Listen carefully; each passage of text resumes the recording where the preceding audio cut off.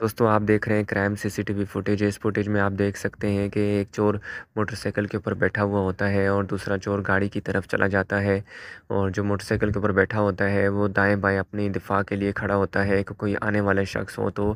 निकल सकें भाग सकें में जो चोर गाड़ी की तरफ गया हुआ होता है वो गाड़ी में चंद ही सेकेंडों में उसका दरवाज़ा खोल कर उसके अंदर बैठ जाता है और गाड़ी को स्टार्ट कर लेता है फिर ये जो मोटरसाइकिल वाला चोर होता है वो मोटरसाइकिल को स्टार्ट करता है और आगे की तरफ निकल जाता है और जो पीछे गाड़ी में में बैठा हुआ चोर था वो गाड़ी को स्टार्ट करने के बाद बासानी गाड़ी को लेकर फ़रार हो जाते हैं